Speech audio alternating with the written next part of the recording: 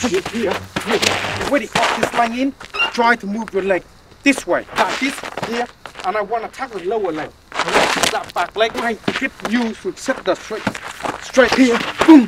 Turn controller that onto the basic movement, uh, side kick there. So when I go like that, he comes down. That can be another one on the rib cage. I will go full you onto the basic movement on this so you can understanding the idea. On this movement here, we go through the basic movement you've been practice again, the front kick company. So you can go through all the other bits so you know exactly what to do. On this movement here, you attack with a chop kick and then you come back with a side kick, like you try to move away. Let me show you here so you know exactly what to do. Like what you, uh, when you're coming into attacking the movement here, front kick comes here, your chop kick coming in, and then you move like away, Now on the movement here, it's important to ready, that you ready off this line in, try to move your leg this way, so you can have this leg to come in to make an attack. Okay. Now the movement can be, okay, it can be like this here, and I want to attack with lower leg. That back leg is that can't be done. It's the same basic principle. It's uh, the leg. That's it's easy to see. This one here is the idea. I come in like that, I can go like that onto that back leg. That can't be done. But the whole idea of the movement here is trying to get you to set the straight, straight forward, get in line on it. Okay, very quick and simple sometimes when you're working with this movement here, it's hard to understand like the swapping the feet. This is why you get used to lying boom here, boom like this, to get used to the the movement and rhythm of the feet can be respond where I want it. Okay?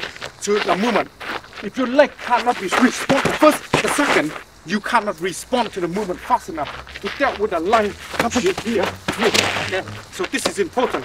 So when you're coming in here, here, boom, here, boom, here, this has to be done because the first uh, movement you go in is not enough power to able to launch it. The second one is not a lot more to able to overcome the first movement to helping you. So the first is not, uh, sometimes it's not enough power for you to hurt them. So you go like that and return, and that's when you really finish with the second one to create the power. So the movement of it is line, so drop, go, and coming in, okay, on the movement there. So line, here, boom, here, like that. So you create enough power there to able to move him like that, like that. Okay, so when you're working with the movement, here, boom, turn control of that. They're coming in. Okay, let's go slowly.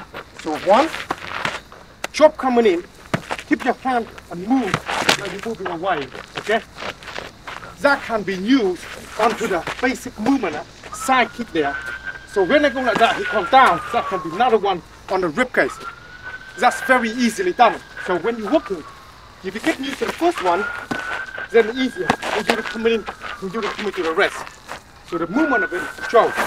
Control, and then move away, and then move in. So the most important thing, learn to understand it.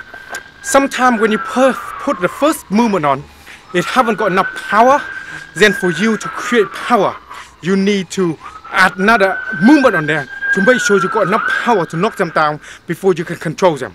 This is very important. If you can't knock them down, it's difficult to control them later on.